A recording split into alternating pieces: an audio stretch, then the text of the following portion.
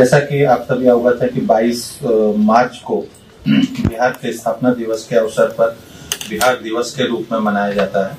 तो इस वर्ष हम लोगों की 111वीं वर्षगांठ है 1912 में राज्य के स्थापना के हिसाब से। आप लोगों को प्रेस रिलीज़ दिया गया है, जिसमें संक्षेप में जो प्रोग्राम हो रहे हैं, उनके बारे में लिखा हुआ है। मुख्य तौर पर पिछली बार से इस बार जो अंतर है, वो दो तरह का है। एक तो ये है कि इस बार पटना में वैसे स्थान जहाँ पर कि कोई ना कोई कार्यक्रम आयोजित हो रहा हो, उन स्थानों की संख्या बढ़ा दी गई है। पहले मुख्य तौर पर गांधी मैदान और एसके मेमोरियल हॉल इन दो जगहों पर ही सांस्कृतिक कार्यक्रम होते थे और गांधी मैदान में इसके अलावा स्टॉल या पेविलियन विभागों के लगते थे। इस बार सांस्कृतिक कार्यक्रम जो है, वो गांधी मैदान के अलावा एसके मेमोरियल हॉल और रविंद्र भवन, ये तीन जगह तो शिक्षा विभाग की ओर से आयोजित हो रहा है। लेकिन इसके अलावा प्रेमचंद रंगशाला में संगीत नाटक अकादमी, कला संस्कृति विभाग की ओर से थिएटर फेस्टिवल का भी आयोजन हो रहा है। और लेजर शो, गोलघर और मंगल तालाब ये दोनों स्थानों पर होगा। इसके अलावा म्यूज़ियम में, जो बिहार म्यूज़ियम है, नया म्यूज़ियम हमारा, वहाँ पे बिहार के महिला आर्टिस्ट की कला का प्रदर्शन वो पहले से चल रहा है और वो बिहार दिवस के अवसर पर भी जारी रहेगा। तो एक तो स्थान बढ़ाए गए हैं। दूसरा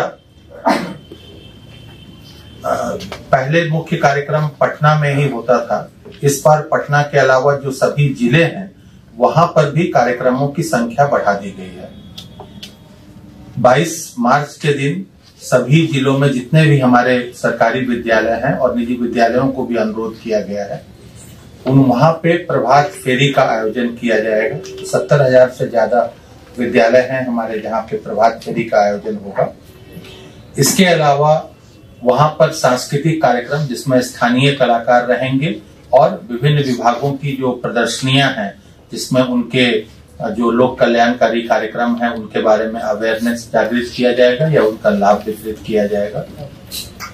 इनके अलावा जो जितने भी आईटीआई हैं पॉलिटेक्निक और इंजीनियरिंग कॉलेज इन तीनों में स्कूली बच्चों का भ्रमण कराया जाएगा ताकि वे देख सकें कि ये उच्च शिक्षा के तकनीकी संस्थान किस तरह से काम करते हैं और उनमें आगे के लिए एक मोटिवेशन पैदा हो सके।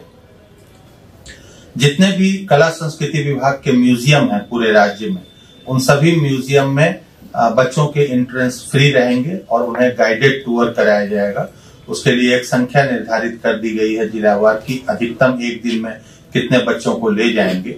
और उसके अनुसार जो जिला शिक्षा पदाधिकारी हैं, वो बच्चों को ले जाएँगे।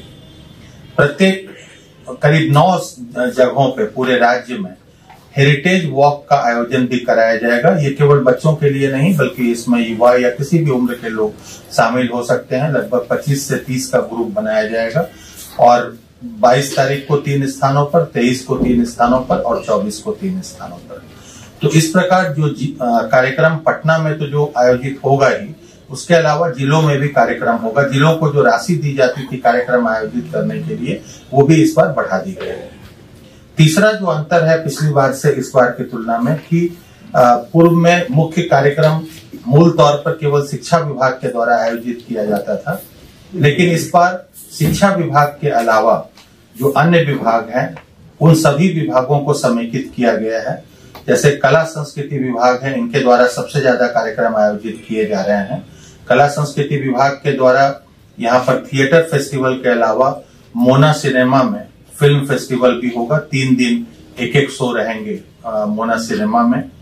इसके अलावा स्क्रिप्ट राइटिंग का वर्कशॉप आर्यभट्ट नॉलेज यूनिवर्सिटी में पेंटिंग की वर्कशॉप सह प्रदर्शनी ललित कला एकेडमी में स्कल्पचर की पेंटिंग सह प्रदर्शनी आर्ट कॉलेज पटना में।